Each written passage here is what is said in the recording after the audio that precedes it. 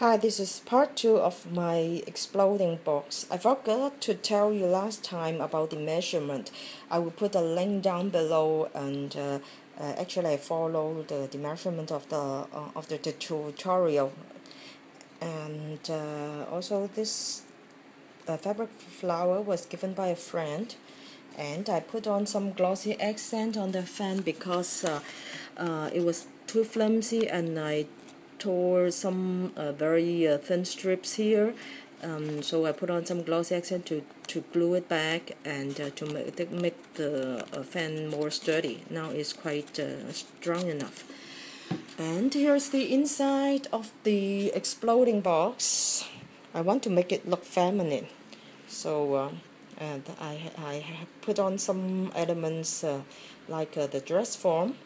And for this flower here, I used uh, burlaps. Uh, I took out three uh, three strands of uh, phrase from this burlap, and then um, roll them up and glue them, and now it looks like this.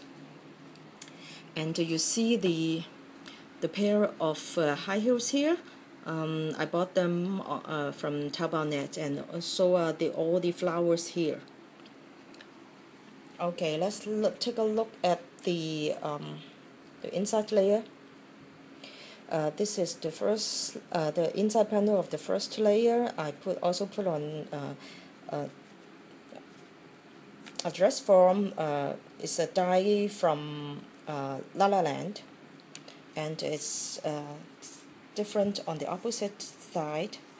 And here is a corset I made this corset by cutting two panels of paper and then for the loops I used uh, Martha Stewart punch and uh, because uh, I, I just used uh, the uh, uh, used this part but I found that the loops were too close together so I cut out every other loop and and from two strips and glued under these two panels and tied the ribbon.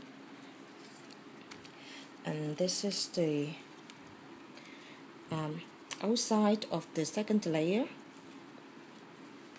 and uh, basically the design of this box is that uh, is uh, uh, they, they look the same on the opposite sides but uh, uh, different on the adjacent sides. Uh, for this paper I used Ruby-Rock-It's um, Arcadia collection and it was introduced by um, Annie's Miss Garden Grove 1 and uh, I made special order from my local craft store and I found that uh, this paper collection is very pretty.